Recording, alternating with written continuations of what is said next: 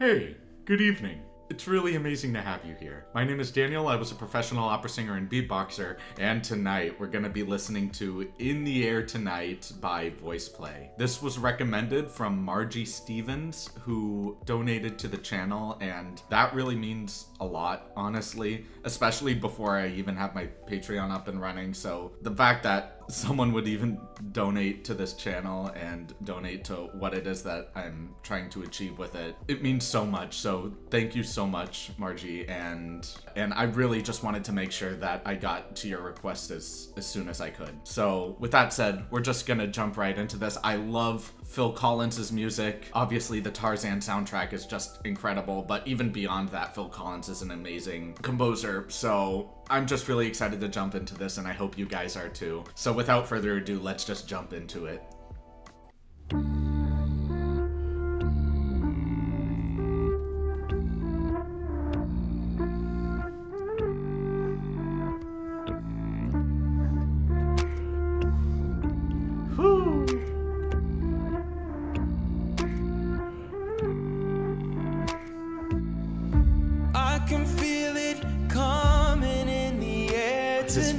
Voice is magic, dude. Oh Lord. And I've been waiting for this moment for all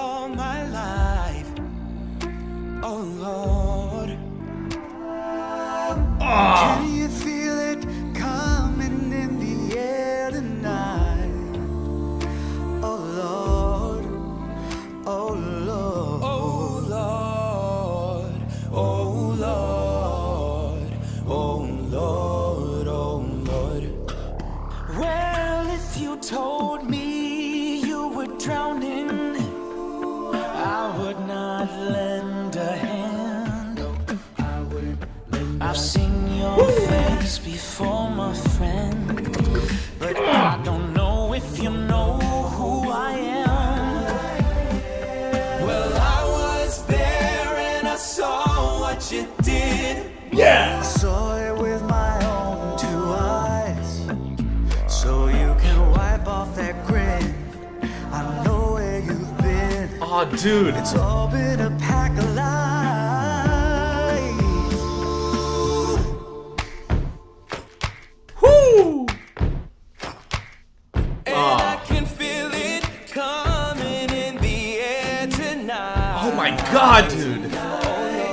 Their charisma is crazy. Well, I've been waiting for this moment for all my life.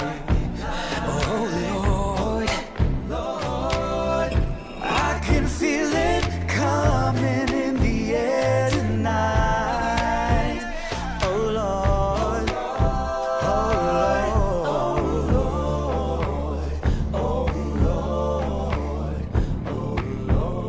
Oh, that bass. well I remember, I remember. Don't worry. Oh, Layne. Yeah. How could I ever forget? It's the first time, the last time that we ever met. Oh my gosh.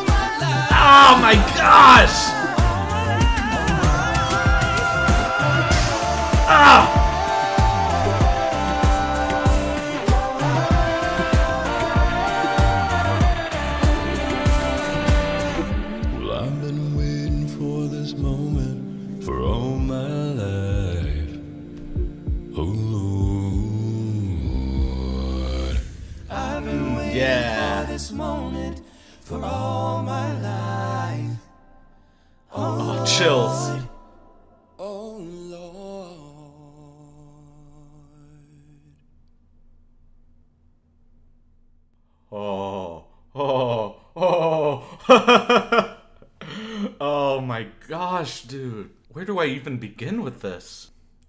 Something that I really love about the structure of this piece is just the fact that they didn't rush into any powerful forte fortissimo full chest everything right off the bat and they didn't even do it right in the middle of the piece where you would reach typically some kind of musical climax. This piece was very contained, and it wasn't really until closer to the end of the piece that they really just ramped it up and not only had these echo effects, but it almost felt fugal in a way. And fugues are where, typically in classical music, fugues are where you have a running line. And an example of it could be row, row, row your boat, row, row, row your boat, row, row, row your boat. And just having those lines go off, where it's the same line, it's just started at different points. And when you get all of these pushed together, at some point, it's all going to just come together. That Kronk meme of, oh yeah, it's all coming together.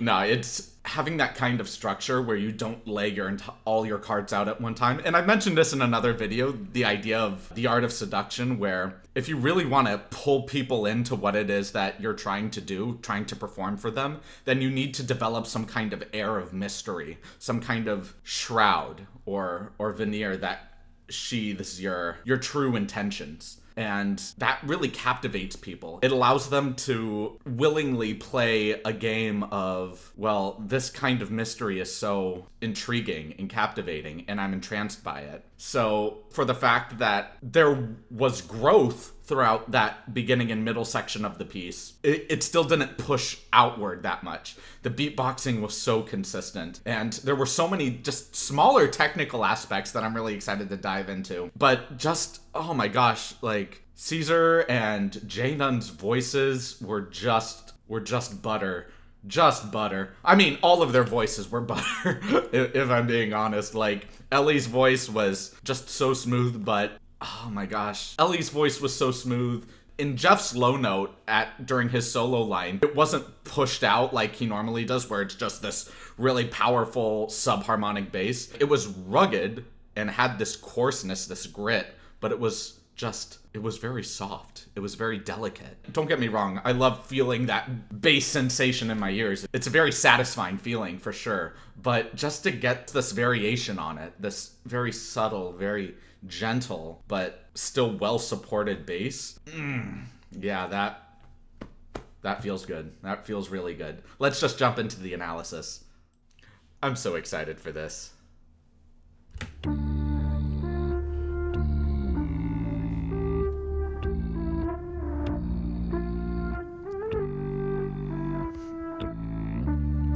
The effect on the voice here. But just really distorting it, perverting it into something. Like this entire aesthetic right now is very much a really worn down VCR tape. and the audio reflects that, except for that bass line, which is very clear and very sultry, but also very quiet. Mezzo piano or piano or medium soft to softness it's it creates a good flow off the bat but ah oh, so nice.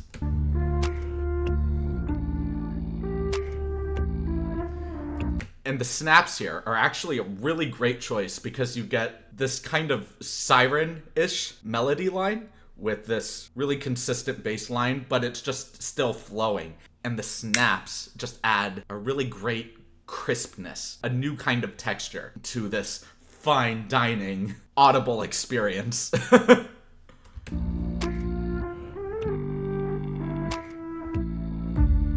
can feel it come. Oh, and just starting right in the middle of the pitch, not going I, but I. Yeah, and it doesn't feel like a very sharp glottal of I, just I, where it's just touched on and it's very well supported and powerful, but nothing overbearing. Starting the piece off very strong on that very powerful vocal line. It's really good stuff. Coming in the air tonight. Yeah, and he's not crunching down on the R on air. Air. Yeah. I can feel it coming in the air tonight. Yeah. Because you're still trying to create that nice arc and crunching down on any particular consonant would close off the sound or restrict it in some way and you still want this opening phrase to be very open. So to go eh or eh but just not closing down on the r but keeping the vowels as open as possible. Not in terms of any like operatic technique of eh, but just still maintaining that pop element but yeah love it. Oh Lord. The D isn't hard to Lord. Instead of Lord. Just Lord. More like an LOH soft D kind of sound. I love it. That was a great effect. For this moment for all my life. His voice is so magic. I love it. Oh Lord. Oh, so good. Their harmonies are crazy. Oh, like it's so simple too, but just the fact that they grow together. They start on the exact same dynamic, same vowel, and just crescendo into a really not over the top, powerful fortissimo, very loud, but just kind of grow into a mezzo forte and immediately cut it off before it extends farther. It, they don't aggrandize the dynamic any louder than it needs to be. It still fits within this this softer tone of the beginning of the piece, and uh, it's so controlled and self-contained. It's so great, dude.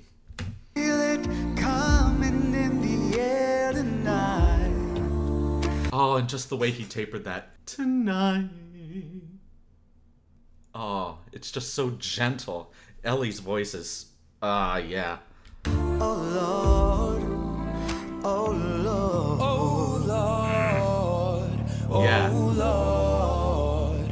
Oh Lord. Oh Lord. Just that bass throughout that, through those oh lords. Ah, yeah. Let's listen to that again. Oh Lord.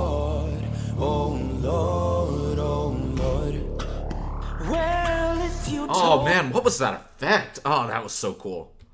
We're listening to that again. Oh Lord, oh Lord. Well, if you told me Caesar's voice is also butter. Ugh. you were drowning, Oh, the way he approached that. Yeah. There's a nice cutoff on the end because ends aren't really ground like ours are, where it's very guttural and it's very forward facing of mm, mm, mm, mm. Mm, not but mm, yeah, it, it's ah, it's so nice. The way that they're controlling all of their consonants and closing off the sound, but not the musical phrase. They're everything in this piece is so precise and well controlled. It's so satisfying. not lend a hand. I've seen your Ah, nice. Beatboxing. Oh my gosh, I have to listen to that again. I've seen your face before, my friend. Ah, oh my gosh, this this is a lot. Typically, in those types of sounds, I would try to. If I were to try to replicate it, I would most likely cheat in some way, where I would just create a and just use one sound and just repeat it. But but Layne is making individual sounds stacked so well and so consistently, rapidly on top of each other, and that requires very fair amount of practice and consistency to execute so well, as well as he is especially. Like, let's listen to that again.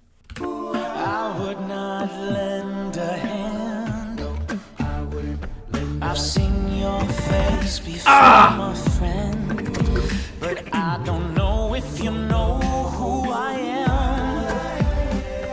Well, I was there and I saw what you did. Oh Oh my gosh, dude. The way that their voices are matching with each other. Ah, this unison is. Mm. Like, obviously, not everybody is on the exact same note, but just to have a couple voices in unison and creating this push. Oh my gosh. You just feel the pressure of the group. Not like pushing you off the cliff, but you just feel this pressure pushing you against a wall. And it's nothing overwhelming, but it's like putting a heated blanket progressively being pushed onto you. And ah, there's just something so a little overwhelming, but also just very warm and something that you can just fully embrace the moment you just completely adjust to it. It's so nice. I saw it with my own two eyes. So you can wipe off that grin. I know where you've been. It's all been a pack of lies. Oh, that was a great vocal run. I love it when groups do this. Just use their bodies as the percussion. And obviously, a lot of groups already do this, but I feel like many groups use this not to its fullest potential. Typically, I've seen a lot of groups use this just for dramatic effect, but the way that they're utilizing it here where the piece itself is still very soft and there's still so much more room to grow because they haven't really gotten into the true climax of the piece yet. You can afford to use this body percussion as a new layer of growth. And not just to say, hey, we're adding these new textures because that is what it is, but there's more layers to that where it's not just adding a new texture to the piece, but it's also adding an element of growth. It's adding an element of more crispness and unity within the group that's being expelled out into the audience, the listeners. And just this radiance, this palpable energy that's being emitted from the group out to the audience is just, ah, very, very great arrangement. Very great. Uh-huh. And I can feel it coming in the air tonight. like even with this percussion they're still so gentle in their vocal approach. It's so good. Oh that growth. Oh lord. Yeah dude. Well, I've been waiting for this moment for all my life. oh on oh, my like just immediately going off the sound on my on my life. It gives you more of a break in between my and life. So you have that empty space to kind of register what it is that you're listening to. And then they immediately go back into it. They give you just a split second to process which is considerate of them. I love the arrangement and because it, it feels like a little tease almost where where they give you that moment of understanding but because they immediately get back into it it's i'm giving you this this beautiful opportunity to process but the moment that you even recognize that you have that opportunity they take it away from you and it's just so oh my gosh just their charisma in this piece is incredible Things for all my life. Yeah. And just going live, just adding a little bit of a bump, a little bit more contrast into life versus life, adding a little bit more energy into the word instead of growing it, which they could have done and it would have sounded beautiful anyway. But having that little speed bump in the sound just gives it a little bit more momentum. And if you're going to generate to a stronger climax, you're going to utilize as much momentum as you can to really propel yourself up to that level. And they're doing such an exemplary job doing this. I can feel it coming in the air tonight. Oh, Lord. Oh, in the air. Oh, that vocal line just right after the main phrase from the group. Uh, it's so good, dude. So good. Ah, they're- these growths, dude. And pay attention to how perfect all of their vowels are together. You can't harmonize like this unless all of their mouth shape, tongue positions, and pitches are just exactly where they need to be in order to harmonize as one voice. Like, obviously, they're all individuals singing different notes, but in order to actually create a full harmonic sound where nobody's not just out of tune, but everybody's matching each other. If you guys have ever seen team sports like volleyball, hockey, etc., then each person on the field or the court or whatever has a unique responsibility that contributes to the rest of the team. And no one position is the most important. Every single position has its function, has its purpose that contributes to the success of the team. And not one person can falter because at any moment, if one person does, that could be catastrophic for the rest of the team. And the same is true for a cappella groups, especially because everything is held hand in hand all the time. So when practicing, you have to say, these are the vowels we're going to do. This is when we're going to crescendo. This is when we're going to retard or have an accelerando or an acceleration in the piece. This is the kind of atmosphere that we're going to emulate or whatever the case is you see this a lot in choirs too when i was in university in in the top choir every single day that we went into that classroom and choir rehearsal was three hours a day our choir director would always be on top of us saying you need to have a pencil. If you don't have a pencil you're just not going to be a part of the, the rehearsal.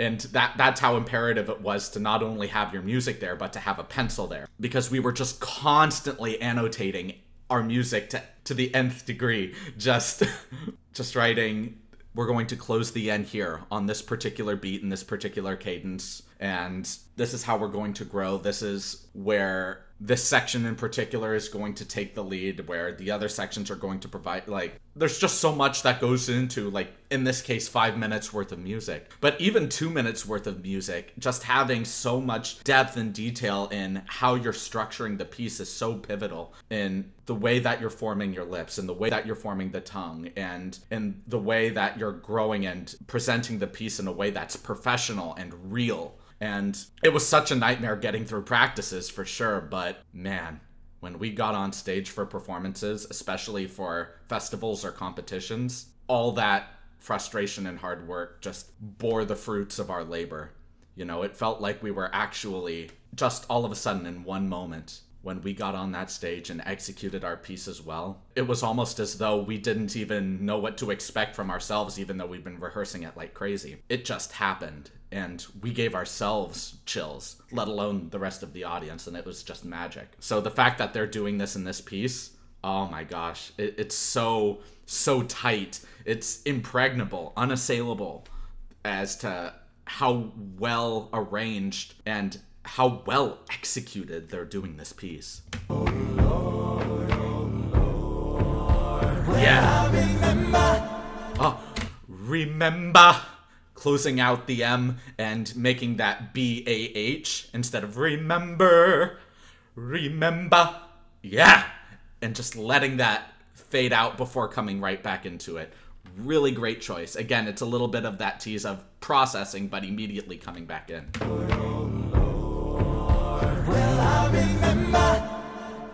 I remember don't Yeah, and just having Layne be that surprise where we don't hear him sing his vocal line yet. So just to have this moment of, wow, that was a really great growth, and it's echoing.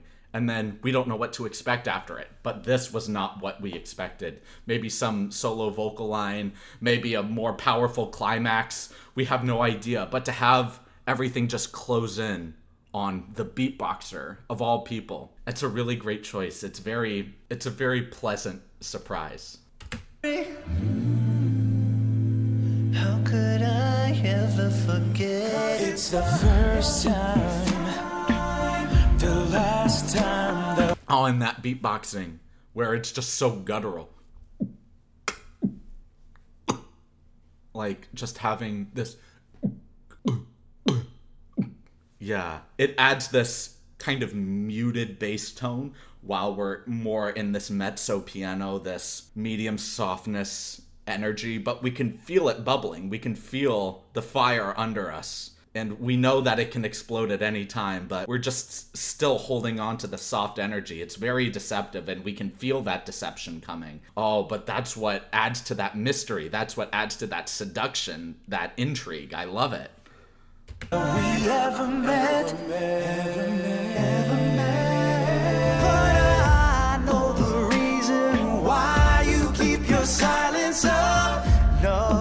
Oh, it's just, it's just so tight, dude. These these harmonies so incredible.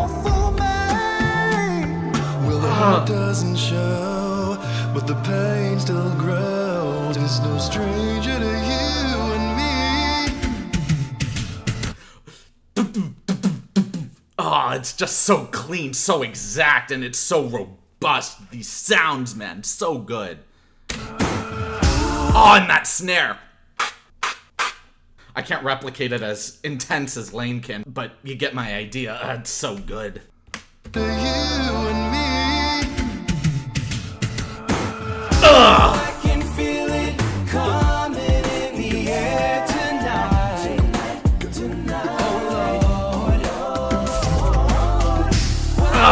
my gosh, this drum kit is incredible. But just the fact that all the rest of the group is just still being so consistent like they were in the beginning of the piece in more of this higher energy, louder dynamic section where they're all just still having these elements of sharp cutoffs and allowing that small break to process and immediately coming back in to grow. Ah, it's so good, dude, and it's still so tight.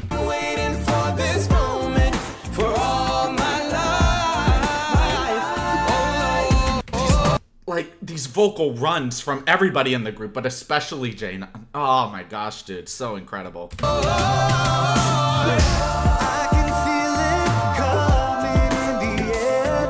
They're not screaming these notes, they're not so powerful. It still feels very restrained. Like to to a degree, it it doesn't feel unfettered yet. It still feels like we're in that beginning section where they're just not completely letting loose the dogs that they're restraining inside of them, but they're just like even in this powerful moment that you just still feel this air of seduction and you're like oh, i need so much more from you in this moment.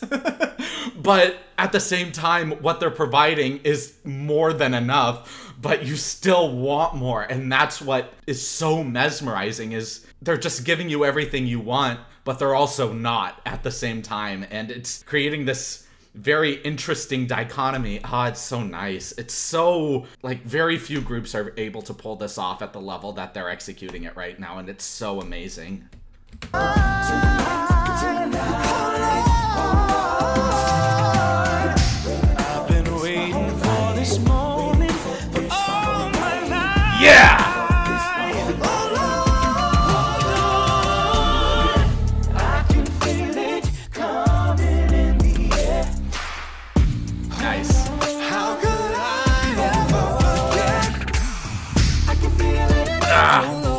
Oh. Ah, yeah. Like just these little accents. Crazy.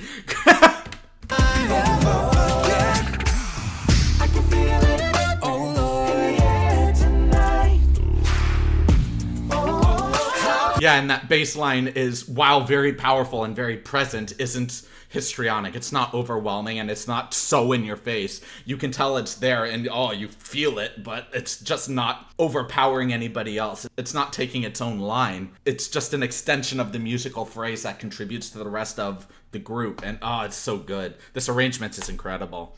Could I ever forget? Oh, that unison, dude!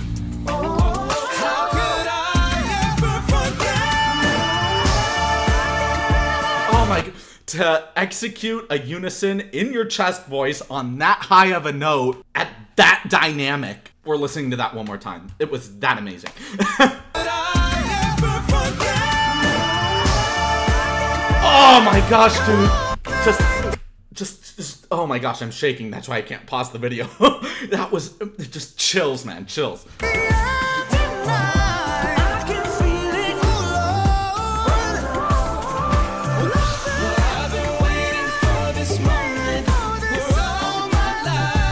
All of their energy. They're just playing so well off of each other. I this is so good.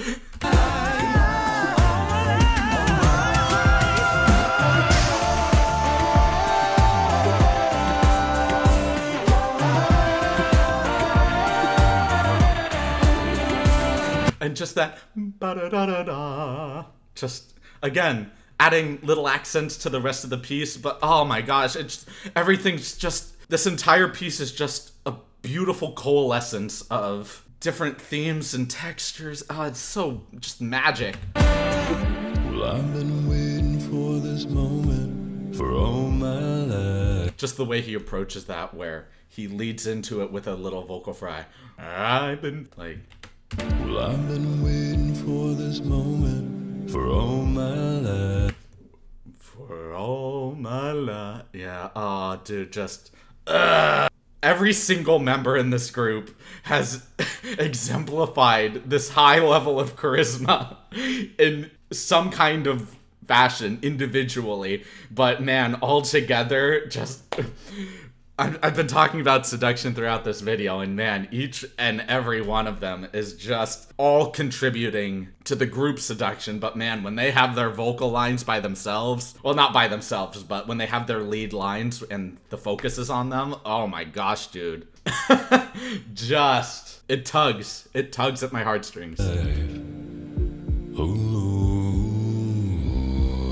Yeah, and that's what I was referring to earlier before we got into the analysis, where that note could have been very grounded, very supported, and very loud because we all know what Geoff is capable of in terms of projecting those kinds of bass notes. But man, he just, he's so smooth with it. There's still that sandpaper texture, but you're just very gently rubbing over it. You're not grinding into it, but you just you just feel that softness coming through it. Oh my gosh, what a great choice there.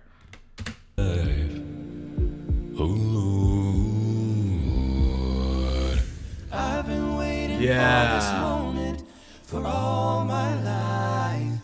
Oh, the nice. F is a very difficult consonant to immediately cut off on because F can be held on for a long time. Very similar to things like S's of. These are consonants that you would typically taper, but man, just the, how clean they're cutting it off. This moment for all my life. Oh Oh my gosh, dude, so exact. Oh, oh and just that D. Lord. And just having that gentle touch of the D at the end. Oh my gosh, dude. It's so gentle and the way that they just approach each of their notes, each of their musical cadences, the entire piece as a whole. It's just, oh my gosh, it's so well rehearsed and so well executed and the arrangement is so great and everybody contributes to the to the full function of the piece and that's what makes this piece excellent. Thank you all so much for watching this video. If you liked it, please like, comment, and subscribe. And if you didn't like it, please leave a dislike and let me know why in the comments. I do read all of the comments, even if I might not heard a reply to all of them, so please just know that your comments do not go unnoticed. My live streams are Thursdays at 1 p.m. Pacific Standard Time, so if you'd like to stop by, say hey, or if you'd like to talk about ideas or philosophy or psychology or pretty much anything, I'd be more than happy to be there for you and to talk with you about it. I, I tried making it for a couple of hours, but my throat really hurts and my battery doesn't last that long. Well, it does, but just barely, so they're gonna be more like 90 minutes. so. I deeply appreciate all of you being here. It really does mean a lot to me, and I can't wait to see all of you in the next video. Have a great rest of your evening, everyone.